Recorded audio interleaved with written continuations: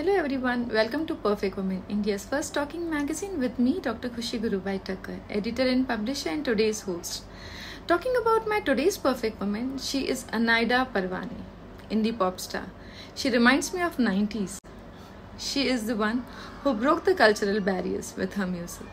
She is a chef, she is a musician, she is a healer, she is a multitasker. Today we are going to talk about what healing therapies can help us to remain calm and fight the pandemic. Stay tuned, stay together. We'll be joining her very soon. Hi. Hi, Anaida ji. How are you? I'm very good. It was I- a roller coaster to catch you. it wasn't, there was no option on Facebook. It wasn't working. But then here we are. Yeah, yeah, we are. So it's pleasure. It's it's wonderful to have you as a perfect woman for today.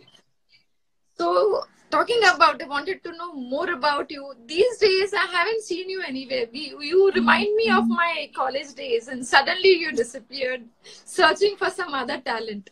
So where were you these days? Uh, it's a lockdown, so I I have been indoors like everyone else. And uh, I've been basically using the, I won't even call it uh, lockdown, I would call it a downtime. We are fortunate if we are in homes and, you know, have time to sit on computer and all of this. So we should really be showing appreciation and gratitude. So I call it a downtime. So I've mostly been busy with the next meditation album as well as painting. Uh, and uh, we were to start a new restaurant by now, but now everything is delayed. And uh, the art show is delayed, and a lot of projects, the TV show we were shooting, that's delayed. So we are like everyone else waiting for the downtime to get over and things to fall in place and then know how to reschedule all projects. Wow. So as a perfect learner, you never stop learning. So what's the the spark in it that you've been creative enough? Every time we see you with new creativity, new art format, and now how you keep that balance of perfection in every art you do. Um, you know, actually creating art of any kind. I have dabbled in a few. I've dabbled in music, uh, paintings, carving, food, uh, dance, uh, all sorts of different, different, uh, you know, modalities of art. I think that the whole process of creation is meditative. So I'm I'm one of the fortunate ones who's who's been able to do these at you know really successful level and monetize it and and make careers out of it. But even if your career is not art, it does help to indulge in creativity because it's just good for your soul. So these days, since everyone is in the pandemic, everyone is in, into a stress level as everyone is undergoing to the stress level. And you specifically, as I have seen you turning towards a spiritual healing. So I mm-hmm. wanted to know more about it, like what healing you have started, how you feel that healing can help fighting So I have been I have been doing different modalities of healing for more than 20 years. So I'm a yoga instructor, I'm a pranic healer, I've done Reiki, uh, different different courses uh, that I built in, but mainly uh, I started doing these workshops some years ago to help people. I was doing them for charity called Power of You. So I was using different modalities, uh, art, food, uh, and different different things to connect people to that power in themselves. Because I firmly believe healing happens by you. A healer can only felicitate uh, and hold space and hold energy for you, but the real he- healing happens from you. So the Power of You workshops were an attempt to connect people to themselves and that power within them. And then not only healing, but everything can happen for you.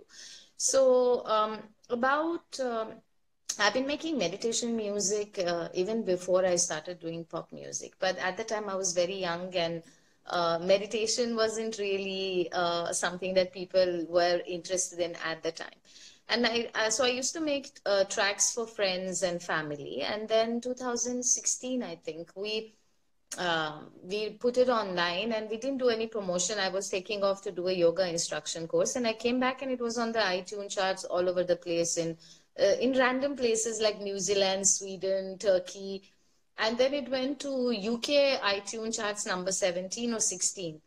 And uh, this meditation album was what I had recorded in 1996. So we actually released it 20 years later and it was on the charts. So it gave me an indication that that's really what I want to do. Um, and the next meditation album is now ready, uh, which we've done uh, in th uh, three languages. So this direction has been what I really like to be. And I used the lockdown time to do some meditation online for people for free. We did Facebook and Insta uh, live sessions with everyone, basically to kind of get down fear. So right now also I have a YouTube uh, couple of those videos. I could give you the link after and you can post it for the viewers for free.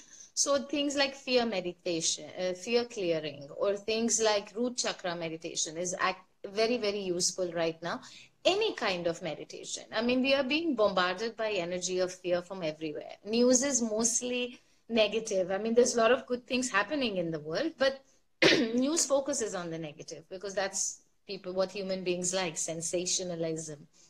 So um, I think this is a good time to go inwards. As I said, if we are the ones who are lucky to be at home, then there is no excuse for focusing on fear. And by holding yourself in a much better frequency, you can help other people. You can only uh, help other people if your own cup is full. So all the healing modalities that I focus on is to connect people to themselves because as I said, the power, the healing, everything comes within you. You are unique. Uh, what works for you doesn't need to work for everyone else. There is no one solution for all or uh, one thing is right for everybody. Every single person is as unique as their fingerprint. And uh, they can find their version of what works for them in what I share. So most of my healing is through sharing and reading of energies and connecting them to themselves. That's basically what I do. I see a complete Anaida, what I met before, probably what I have been seeing you since my days and today. So you suddenly entered into the domain. So what made you to enter this domain? Actually, it's not been sudden. I've been doing this much before anything else. But uh, it's not a side I shared with everybody. Like sometimes I did, but uh, I think everything else I did, especially music, was uh, so successful and everywhere that uh, people were more interested in talking about that than other sides of me. So, um, you know, you will share as much as you you are asked, and if most people are asking questions, you know, which is a next hit and fashion and all of that, which is also lovely, then you will share those. So this has been very much me for as long as I remember.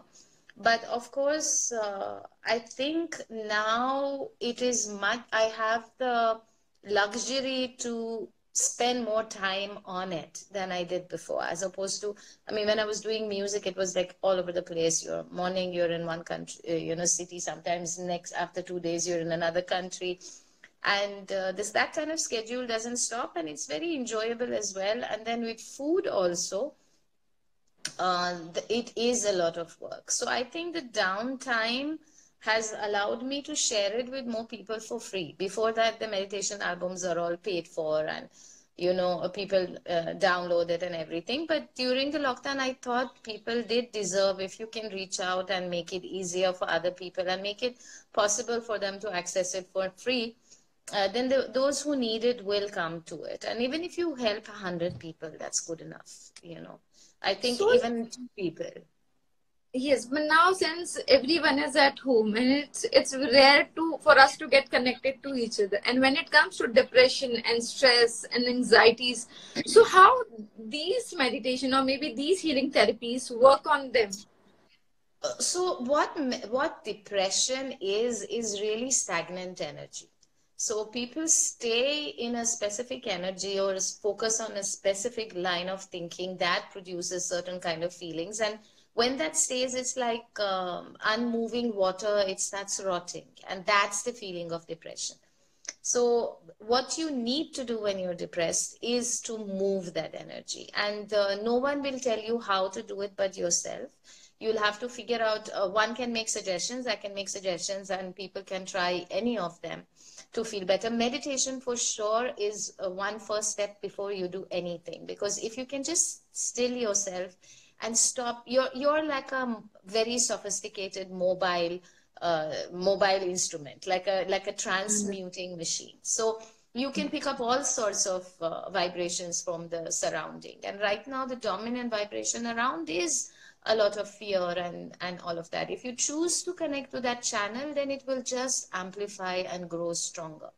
So the first thing is to meditate and connect to yourself, but moving energy, even in terms of exercise, in terms of uh, dancing, works fabulously for me um, I have a, a, client who she cleaning really helps her. Like she gets depressed, she just gets up, throws everything out, and starts cleaning yeah. kitchen or cleaning, and that's what works for her. So the real how to move your energy will come from you. When I work with with clients, then you work with their energy and figure out and make suggestions perfect to them. But any of the things I told you is a good step.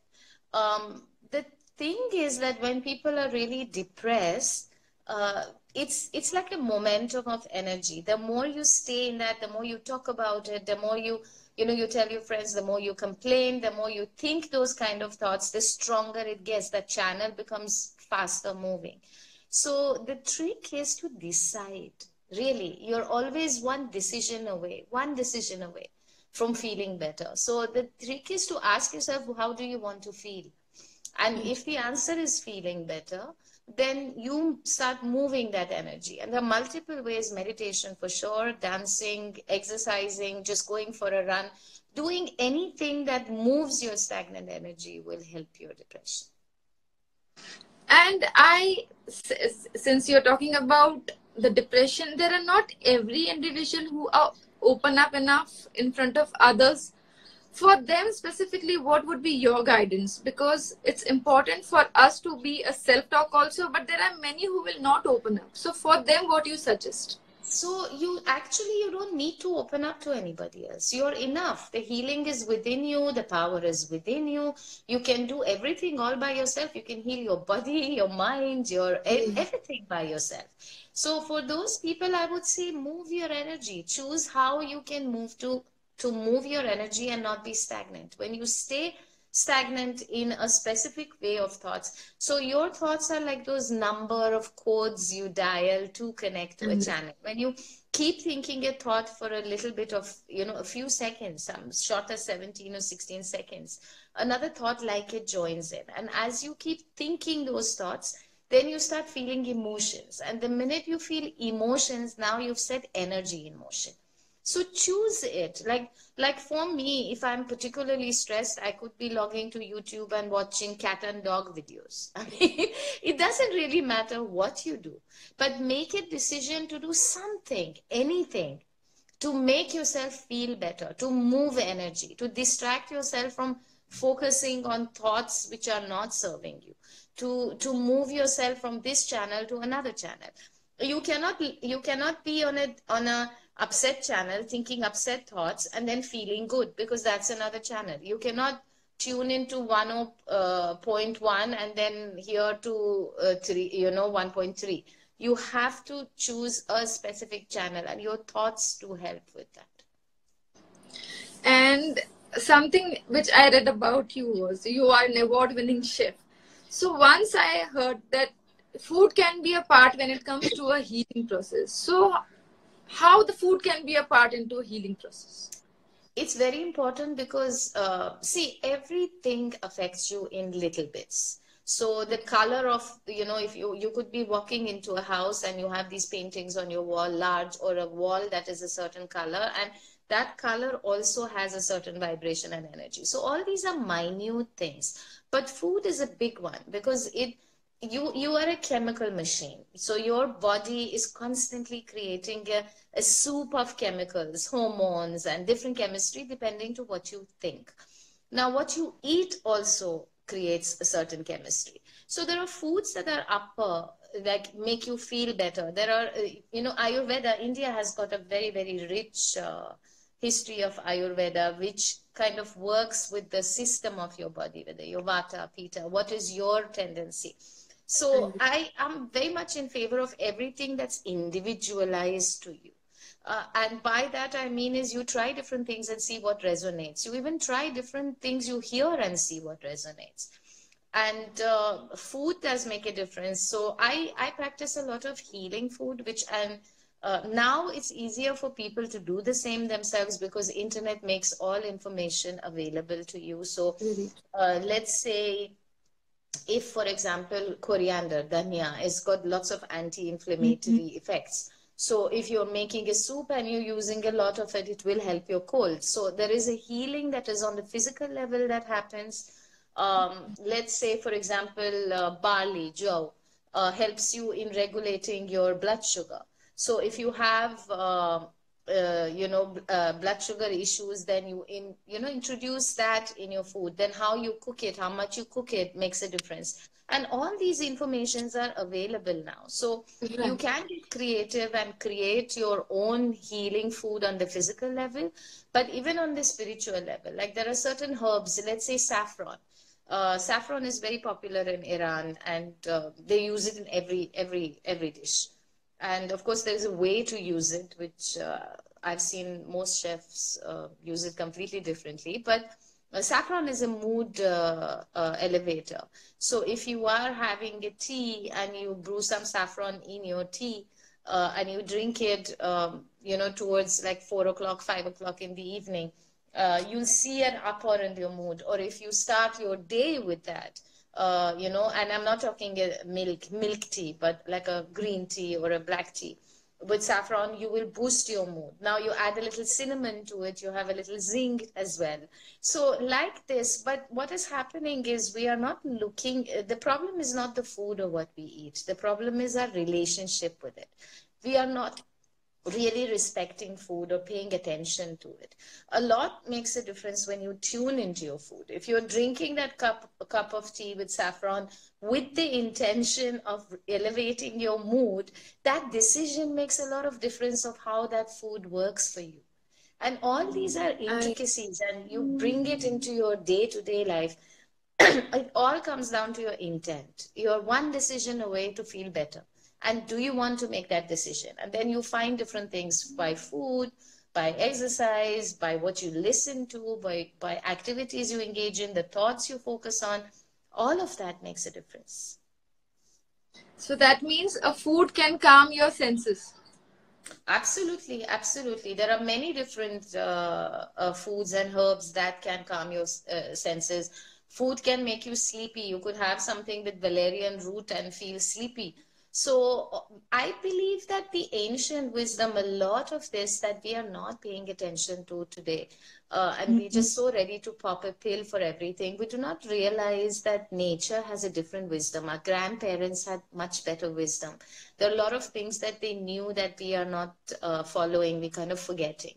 And it's time to go back. I think this uh, situation is pushing all of us to embrace the older wisdom, and India is a country full of it um, this is really time to go embrace all of those and you know go towards a more holistic way of approaching life.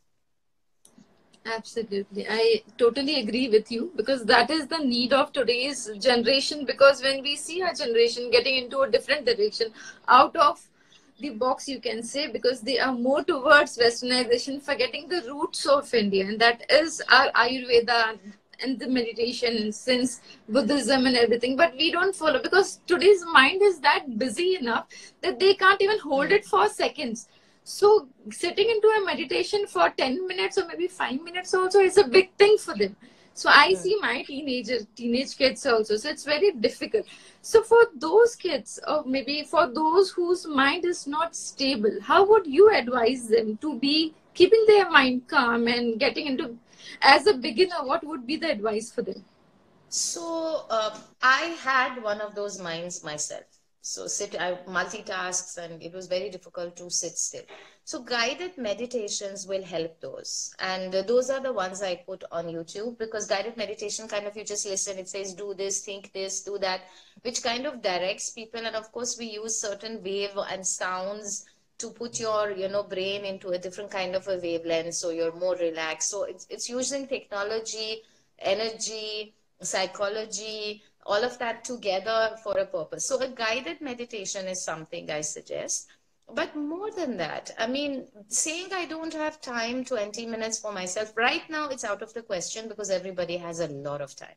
So if you've not been meditating at this time, you just don't simply love yourself. So it's a good time to practice self-love. But even generally, it's like hygiene. You brush your teeth every day um, so then you take that 20 minutes off for yourself earlier in the day or, or, or even more than once a day because you're important. So choosing to love yourself and deciding you want to feel better is, again, I go back, is the most important part. Do you want to feel better? There are many ways to. And then I simply love you for what you are. You have, I always see you multitasking. You've been into so many activities. So being a, from a singer to a chef, uh, an artist and painter and yoga instructor and meditation and healer. So at the end of the day, when you see a mirror, what you see yourself as? Uh, I see myself as one with everyone else. I feel like uh, we all interconnected and there is this amazing universal energy that runs through all of us. It's the energy that creates worlds.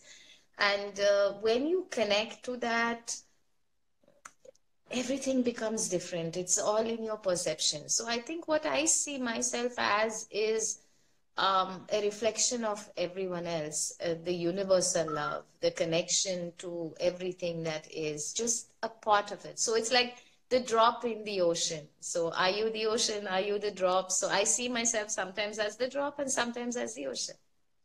Wow, that's amazing. So talking about these meditation and the healing and the yoga. So you do have any workshops talking about post lockdown? Right now, as it is, we all are at home. So then you must be having some workshops when people can join you and get some good so right now I am doing mostly online sessions. So either when I, uh, well, last one month I've just been painting nonstop, like 10, 10 hours a day. So I haven't been online at all. But for the first one or two months of uh, uh, the lockdown, I was online doing a lot of these sessions.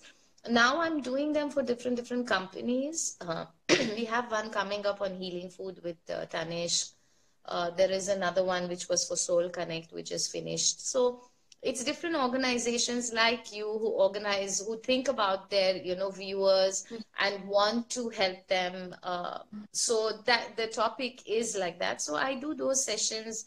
Um, there is one or two, you know, happening all the time. And uh, after the downtime is over, I have lots of projects that I have to figure out what is what. So the the that depends but the workshop also we will do.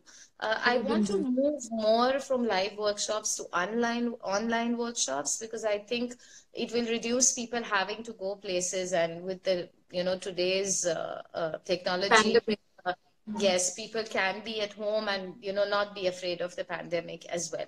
So there are people working on those and mostly um, people organize them and I attend them and conduct them. Oh wow, that's so. Suppose if anybody is sitting at home and wants to heal themselves, probably, then what? How can they go ahead with this? Like how you recommend so them? I I do very very few one to ones, which are uh, uh, we do these sessions. Um, with some of the clients, which are just twice a week. It's an hour, it's meditation together, energy reading together and uh, so those are very few. And uh, some of the workshops as i said like there is a women group they organize it. Um, you know there's always a minimum fee for everyone because then people actually give a lot more importance to to those workshops. So those online things are ongoing. And uh, i have a page on facebook power of you. If there are any that i directly conduct then it will be on facebook and insta both we announce it. But other than that, it's usually been now for companies. So there are different companies who organize it, and uh, they sometimes they monetize it, sometimes they don't. They pay me a flat fee for that. So um, those are happening, which are the work front. But on my own Facebook and, and Insta, I do a lot of times free sessions. And for people, as I said, just connect to yourself. And where I can help, then you can always uh, send us message on Facebook or on Insta if you want to organize a, a group of people for these healings. I agree to you. Anaida, so now talking about you, you've been into a number of shoes now suppose uh, if i if i when i want to see you how you are spending your time in these lockdown phase when everyone is busy what how you have been spending your time so uh, the first one month went in a lot of cooking and cleaning and sweeping and swarming uh, till actually for almost yeah one and a half two months. And then uh, my maid came over and she staying stay, stayed over. So then that kind of reduced a little we share and uh, there's been lots of actually up and down. I i have no complaints about this lockdown. I mean um, i generally am on a no complaint diet. So I, I strongly recommend this to all your viewers that uh, just try doing it for a week. Uh, tell everyone around you to give you a code word if you're complaining and shift your complaints and see how you know things shift uh, around you. So I have no complaints about this, but I've been spending the last one month, I've been nonstop painting 10, 12 hours a day. And uh, it's a very, uh, one of my favorite pieces actually is turning out. I'm calling it Duality, and uh, uh I'm pretty happy with what's shaping up. After a long time, I'm liking a piece this much. So this last one month has been painting, lots of painting. And of course, classes, they happen. Like we do these sessions on Zoom or on Insta, or those happens maybe once uh, a day, sometimes three times a week, not more than that.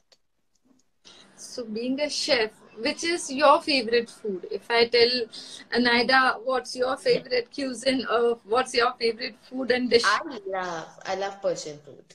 So yeah. I really love authentic Iranian food. You don't get them anywhere in India. Uh, I was having that in my previous restaurant, but now uh, uh, I finished with that restaurant, so we're planning to do some new things. So I think uh, you will hear some more of the food area once I decide what's the next step to do with food. I mean, I got out of the, um, I parted ways with uh, Olive and Soda Bottle Lokhandwala in December before all these lockdown happened.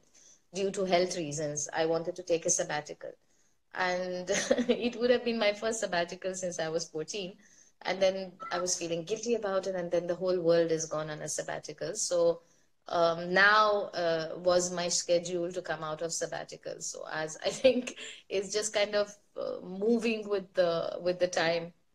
So there will be food as well. I like uh, Iranian food, authentic Iranian food. I like okay. Lebanese food. I like Italian uh, I love a butter chicken. I like uh, Goan prawn curry. So different, different dishes.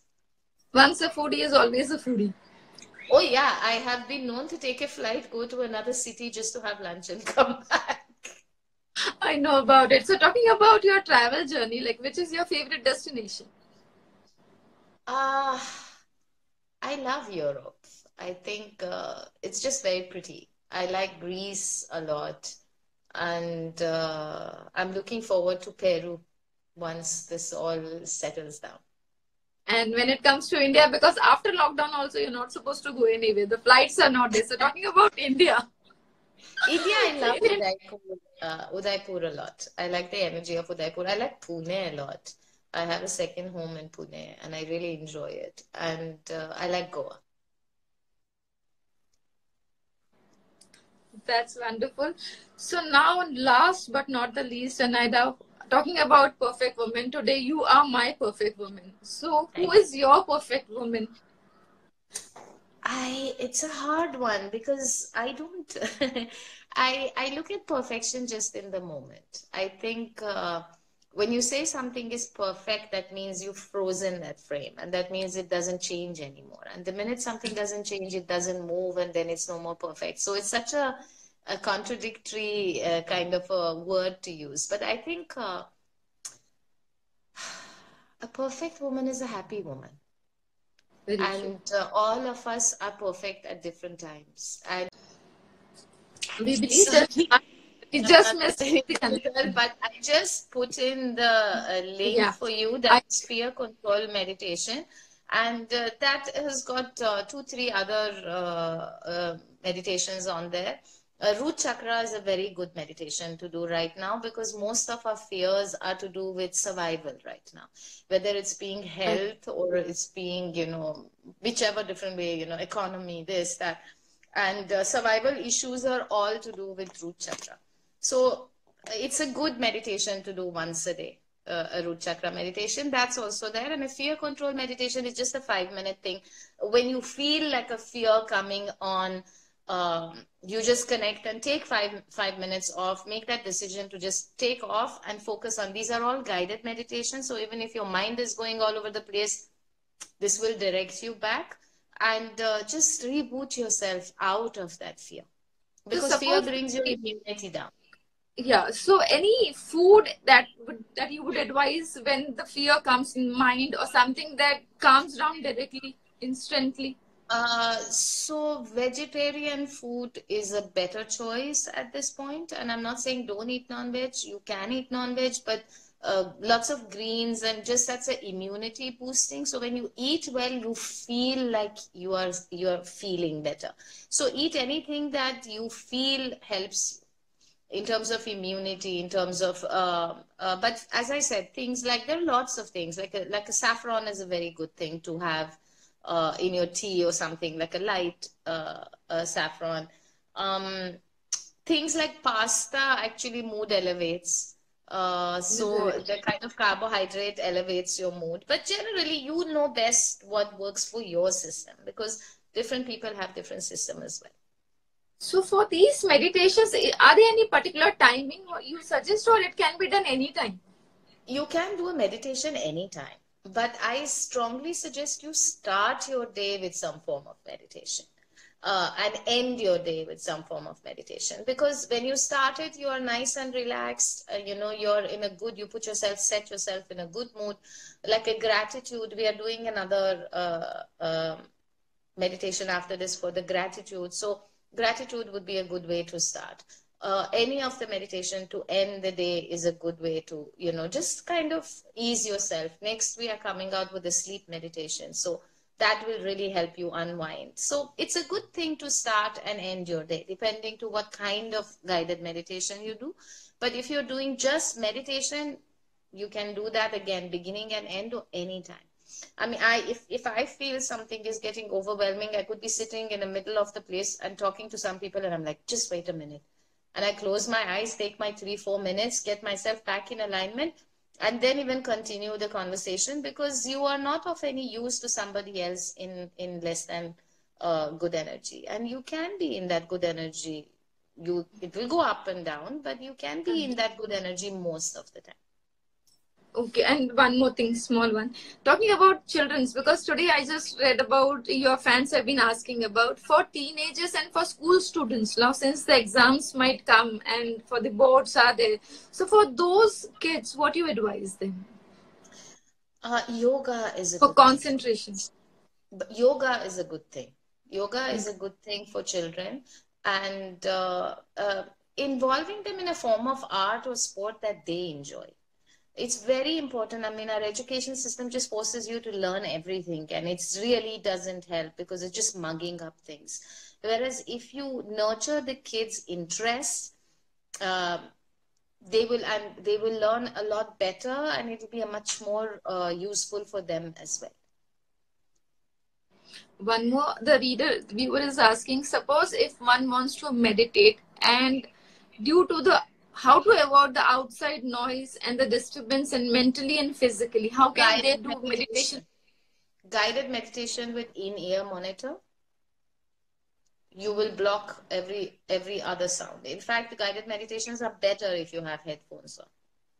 And just find a corner anywhere anywhere in the corner or somewhere. If you really want to do it you will you will manifest it for yourself if you're not Absolutely. focusing on the on the bits that oh this can't be done that can't be done the opportunity will present itself Absolutely. So, Naida, it was, it is really a wonderful session. We had really wonderful conversation, and these conversation is hundred percent going to help others into a long run. So, I'm very much thankful to you for these golden words. Okay, and I again want you to be coming in live very soon, probably talking about women empowerment because today our session was all about healing, which is needed the most. But probably we have been asking, I've been getting questions when are we going to talk about empowering womanhood? So, probably for the next, we will be coming up with all talks about women, women empowerment, and all everything that relates to a woman. Right. So, today is Thank for you thank you, thank much. you very much. Thank, Thank you so and much for being a part of it. Thank you so much. Same here. Same. Take it.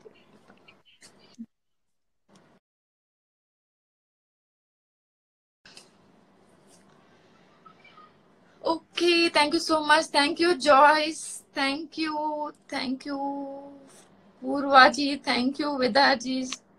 Thank you, Shrishti. Thank you so much for being a part.